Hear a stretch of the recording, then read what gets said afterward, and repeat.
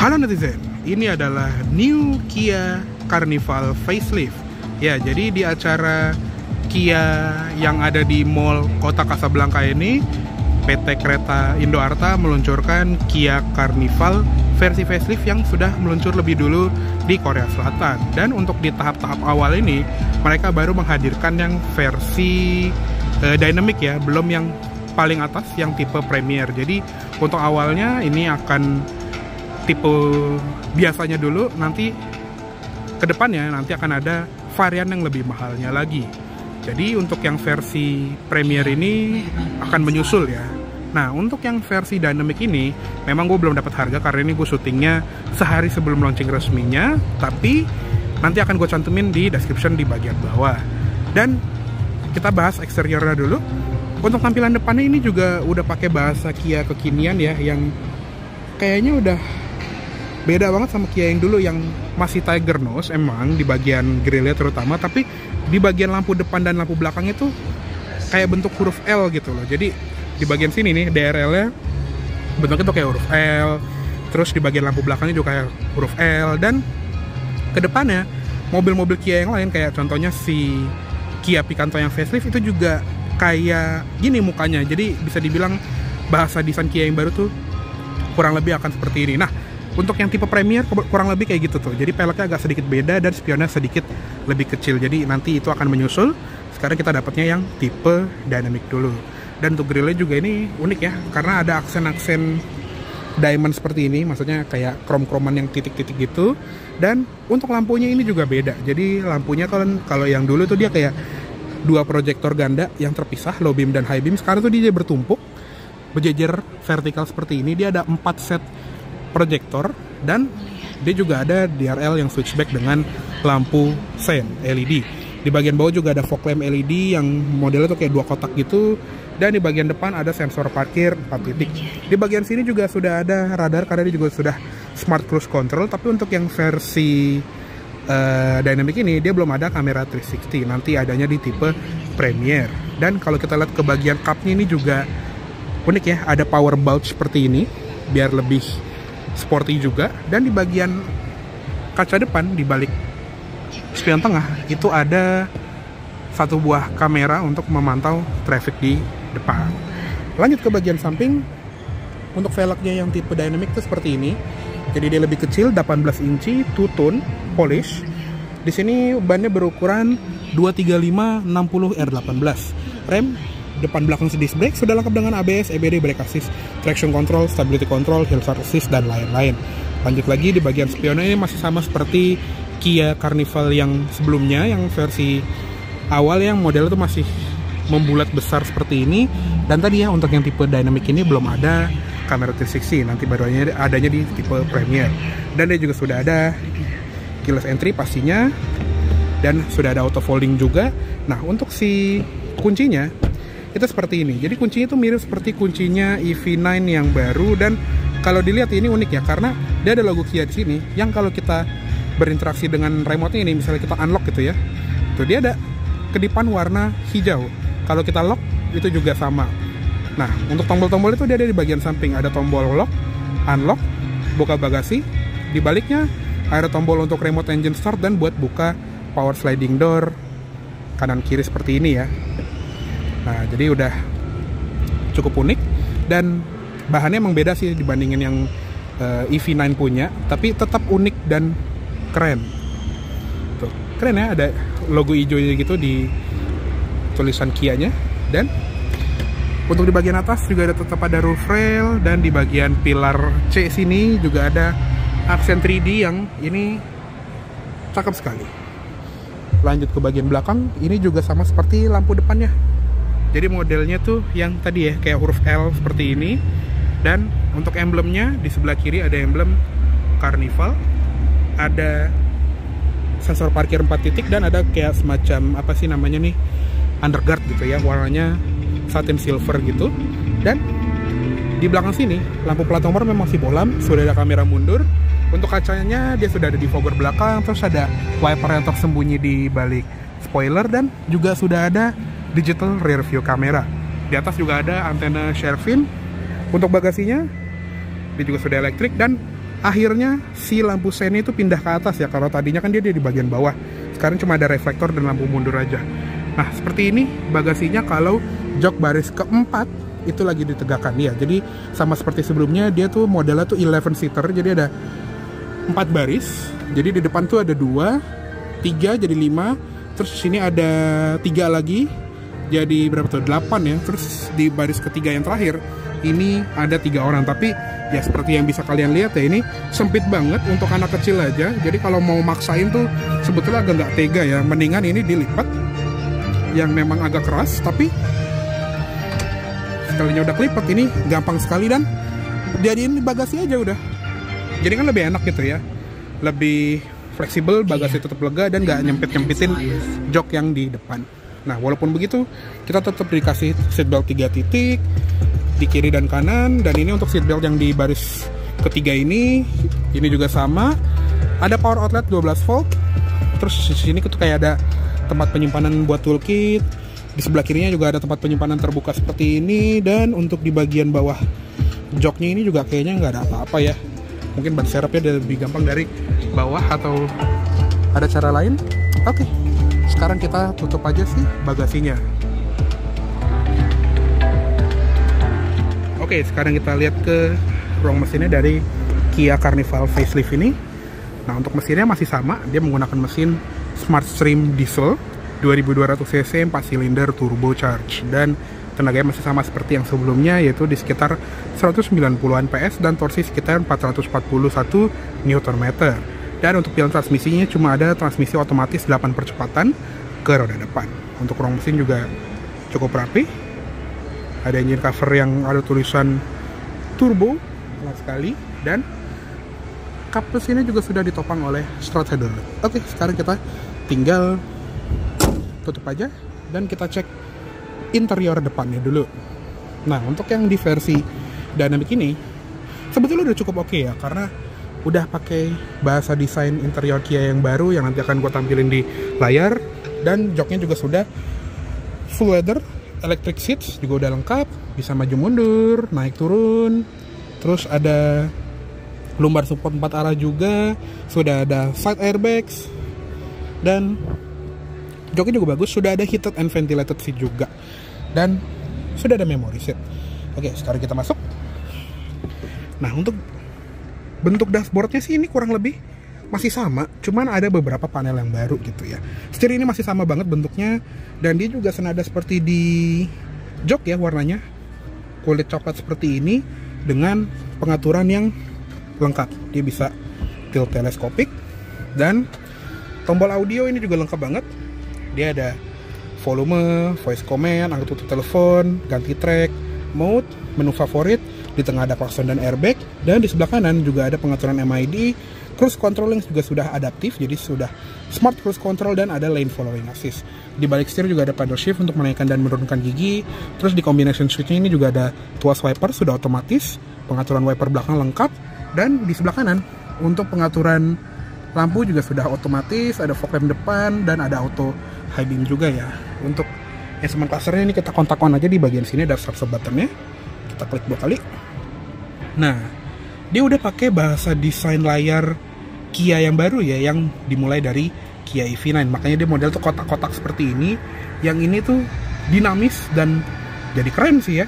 Di sebelah kiri tuh ada speedometer di sebelah kanan ada tachometer digital yang bisa diganti ke analog juga nanti akan gue tampilkan. Dan di tengahnya ini ada layar untuk si smart cruise controlnya tadi ya. Nah untuk MID-nya seperti ini, jadi di tengah tuh ada kayak current trip, waktu berkendara, konsumsi BBM rata-rata, dan memang sih tampilannya cuman dua ini doang, karena sisanya tuh ada di layar tengah. Nanti akan gue jelasin. Lanjut ke sebelah kanan ada ventilasi AC, bisa dibuka tutup, ada tombol untuk stability control. Di sini juga ada buat matiin power door untuk bagasi dan power sliding doornya. Di bagian bawah juga ada kotak sikring, terus ada ini tuas pembuka tak untuk pedal juga masih model gantung biasa dan ada footrest untuk naruh kaki kiri. Untuk di bagian door trim ini juga sama seperti di bagian joknya dia warnanya coklat dan dia two tone ya. Jadi ada warna taupe seperti ini tulisannya TAUPE gitu ya. Serta ada handle yang warnanya satin chrome. Tadi ada memory di sini. Untuk power window dia all auto. Sudah ada window lock juga, central locking, pengaturan spion di sini lengkap dan ada pelipatan spion dengan indikator blind spot monitoring. Untuk audionya yang versi dynamic ini masih speaker standar gitu ya. Dan di tipe Premier itu baru ada audio Bose 12 speaker seperti yang lama. Jadi makin mantap lagi ya. Di bagian bawah ada door pocket sama door trim eh, yang ada cup holder. Untuk Twitter di sini juga ada kayak three way gitu ya. Jadi udah cukup oke. Okay. Dan di bagian sun visor ada cermin, card holder dengan lampu rias yang masih bohlam. Untuk digeser juga udah bisa ya. Jadi bisa menghalau sinar matahari lebih baik. Untuk spion tengah, di sini bisa kelihatan ya dia sudah auto dimming. Tapi nggak cuma itu, seperti yang gue bilang tadi, dia juga ada digital rear view mirror. Jadi ada layar digital seperti ini yang bisa menampilkan gambar di belakang. Jadi kalau misalnya si mobil itu lagi penuh gitu ya, ada banyak orang atau barang sampai penuh, kita bisa lihat kondisi traffic di belakang dengan jelas lewat si digital rear view mirror ini. Tapi kalau nggak suka, tinggal flick ke depan, dia balik jadi kaca lagi. Di bagian atas ini juga ada lampu baca seperti ini yang sudah LED, bisa individual juga. Dan di sini juga ada switch untuk membuka sunroof depannya dan sunroof belakangnya. Jadi dia ada double sunroof. Bisa dibuka seperti ini dan untuk sunshade-nya memang masih manual depan belakangnya. Tapi intinya kaca itu bisa dibuka seperti ini. Keren ya. Untuk di bagian layarnya juga seperti ini. Jadi seperti produk-produk Kia terbaru yang punya apa namanya ini interface baru yang kelihatan lebih sleek, dinamis dan lebih mewah juga. Jadi untuk audionya kurang lebih sama ya, ada audio lewat radio dan juga ada Sounds of Nature. Jadi kalau digedein suaranya tuh seperti ini.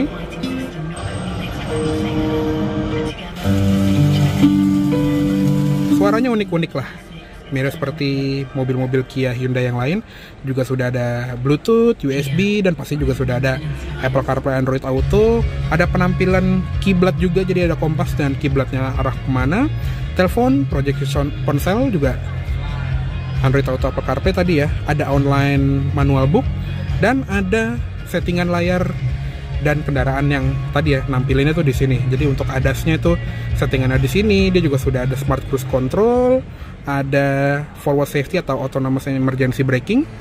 Waktu pengeremannya juga bisa diatur dan ada safe exit assist juga.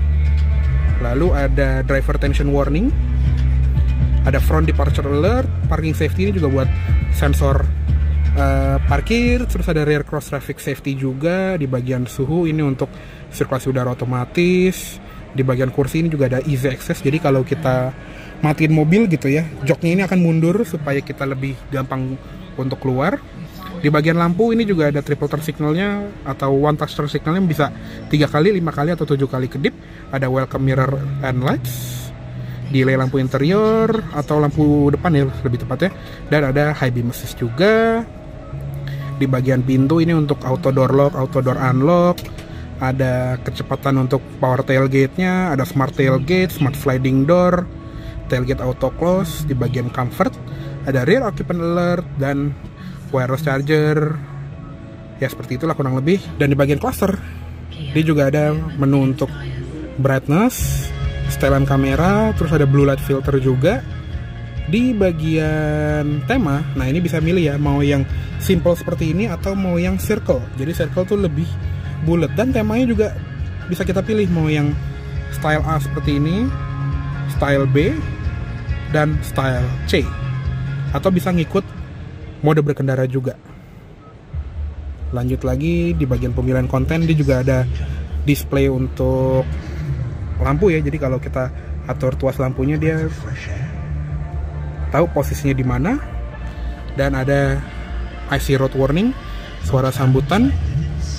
Terus ini untuk general setting juga ya kayak settingan layar head unit biasanya. Dan untuk kameranya dia seperti ini. Jadi untuk yang tipe dynamic ini dia belum ada kamera 360 ya. Jadi baru ada kamera mundur aja. Dan seperti itulah kurang lebih si layarnya. Jadi cukup oke okay ya. Nah di bagian bawah sini ada dua buah ventilasi AC bisa dibuka tutup dengan tombol lampu hazard yang berkedip kayak mobil Eropa. Dan panel tengah ini panel sentuh ini juga bisa dual function. Jadi ini sekarang lagi panel navigation atau infotainment gitu ya. Jadi sekarang tuh ada home map search gitu ya. Tapi kalau kita klik yang ini dia berubah menjadi panel AC dan knop-knop dial ini juga berubah menjadi pengaturan suhu AC jadi untuk suhu AC nya tuh paling panas bisa di 20 setengah 27 setengah derajat celcius dan paling panas eh, paling dingin ya sorry di 16 setengah derajat. Untuk fan speed ada di sini zona AC lengkap ya bisa ke depan bisa ke kaki juga. Untuk rear nah dia jadi seperti ini. Jadi dia triple zone bisa synchronize juga. Untuk yang sebelah kirinya juga ada buat defogger, auto climate, terus ini untuk suhu yang sebelah kiri. Dan kalau diklik dia jadi volume button sama tuning button. Seperti itu ya keren. Nah untuk di bagian bawah juga ada panel USB charger yang kayak Hyundai yang baru-baru gitu ya. Yang di sini tuh ada USB-C yang bisa configurable. Jadi ada ngecharge biasa atau kalau diklik dia jadi koneksi ke head unit. Di sebelah kanannya dia charger biasa dan ada indikator untuk Qi wireless charger yang ada di bagian sini. Serta di paling kanannya ini ada buat power outlet 12 volt maksimal 180 watt. Di bagian tengahnya di sini juga ada dial untuk pemindah gigi ya. Jadi tinggal injek rem pindah ke kanan untuk drive, setengah ke kiri untuk netral, dan paling ke kiri untuk masuk ke gigi mundur. Untuk P-nya tinggal pencet tombol P, dia tadi 8 speed automatic torque converter. Ada drive mode juga, di sini ada 4 ya, ada eco, normal, sport, dan smart. Kalau smart dia menyesuaikan gaya nyetir kita. Dan ada auto hold juga, berikut dengan electronic parking brake. Tadi ya ada heated and ventilated seats untuk kedua jok depan, ada sensor parkir, dan ada kamera parkir juga dua buah cup holder sebelah kiri ada tempat penyimpanan dan ada glove box tengah yang cukup dalam armrest ini juga empuk dan glove box utamanya ini juga dalam sudah ada lampunya juga dan pasti juga sudah ada airbag untuk penumpang depan. Oke segitu aja untuk di bagian kabin depannya dari Kia New Carnival Facelift 2024 ini. Yuk sekarang kita matiin. Kita tinggal layar. Slick banget ya layarnya. Oke, langsung kita pindah ke kabin belakang. Oke, sekarang kita lihat ke baris tengahnya dari si Kia Carnival facelift ini untuk buka pintu geser itu bisa ditarik atau bisa klik tombol yang ada di handle-nya ini. Nah, untuk jok belakangnya sama seperti Kia Carnival sebelumnya, dia masih model yang ada bangku banyak kayak gini ya, belum pakai captain seat yang proper. Karena untuk di tipe dynamic ini dia masih layout 11 seater jadi belum uh, seater yang lebih eksklusif gitu. Mungkin nanti di tipe premiernya akan jadi 7 seater dan untuk jok yang paling luar itu ada armrest di sisi luarnya juga. Dan dia juga adjustable. Jadi mau segini mau segini itu bisa diatur. Di sini ada recline ada sliding juga. Dan kalau kita duduk ini juga ya cukup oke okay lah untuk posisi duduknya cukup nyaman tapi emang rasanya kayak kurang eksklusif gitu ya. Karena ini emang tipe yang biasa belum yang top of the line. Dan untuk posisi di paling mundur ini ini juga masih oke okay lah. Di sini posisi berkendara gue tinggi gue 170 cm masih ada empat jari ada seat back pocket di belakang kedua jok depan dan khasnya Hyundai Kia ya dia ada colokan di bagian samping jok depan ini. Dia USB-C dan ada tombol untuk pengaturan recline dan sliding dari jok penumpang depan. Ada dua buah cup holder satu smartphone holder dan ada power outlet 12 volt juga. Di bawahnya lagi juga ada tempat penyimpanan terbuka. Nah untuk jok tengahnya ini juga bisa dilipat buat jadi armrest ala-ala ya. Walaupun ini lebih cocok buat storage ya karena buat armrest juga rendah sekali. Lebih baik buat naruh minuman aja dan ini juga bisa dilipat. Yang entah gimana caranya oh di sini ada tuas biasanya ya. Jadi dia bisa dilipat untuk memudahkan kita ke baris ke 3A seperti ini. Nah ini bisa ada ruang buat kita ke baris ketiga tapi ini kita ngintip aja karena kurang lebih sama sih ya. Jadi sama-sama kapten seat ala-ala gini yang cukup buat orang dewasa. Di belakangnya juga ada ventilasi AC dengan lampu baca. Dan untuk di masing-masing jok itu juga ada USB C power outlet. Dan jok belakang juga dapat sunset di jendelanya. Berikut dengan sunset di baris kedua seperti ini ya. Bisa digantungin di sini. Dan untuk di bagian atas juga ada ventilasi AC yang proper gitu ya individual ada grab handle lampu baca ini juga udah LED dan ada switch untuk sunroof di baris kedua. Untuk nutupnya dia memang manual ya. Dan ini saking barunya masih agak keset. Nah untuk panel AC nya untuk di baris ketiga ini dia di sini. Jadi untuk fan speed temperatur zona AC nya atau arah AC nya itu dia bisa diatur dari sini. Jadi cukup unik ya. Untuk door trim sama seperti di depan dia tuh coklatnya two tone kelihatan nggak sih? Ini mungkin karena lighting ini jadi kelihatan biru ya. Jadi di atas tuh coklatnya lebih gelap di sini coklatnya lebih terang. Ada switch per window pemanas jok dan ada tombol untuk membuka pintu geser elektriknya. Dan uniknya juga untuk seat belt di baris pertama dan kedua itu dia bisa height adjustable. Jadi bisa menyesuaikan tinggi pundak kita seberapa. Karena juga ada grab handle nih untuk memudahkan akses masuk. Oke yuk kita keluar saja. Oke. Kayaknya cukup segitu dulu untuk review dari Kia Carnival Facelift tahun 2024 ini. Mohon maaf apabila ada salah kata-kata telah menyampaikan review. Dan tadi ya untuk harganya akan gue cantumin di description di bawah karena ini belum launching resmi pas gue syuting ini. Oke terima kasih banyak telah menonton. Sampai jumpa di video selanjutnya jangan lupa